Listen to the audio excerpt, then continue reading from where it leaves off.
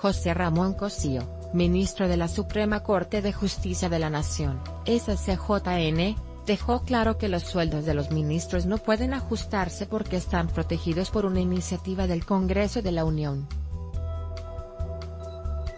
No, el sueldo de los ministros se fija por la Cámara de Diputados.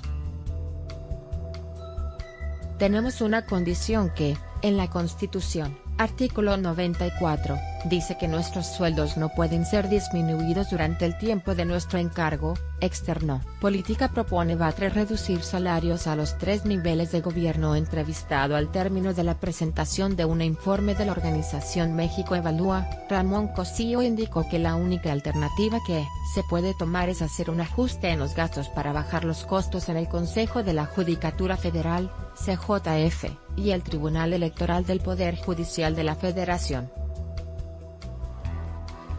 Es una condición que en la presentación del presupuesto se verá.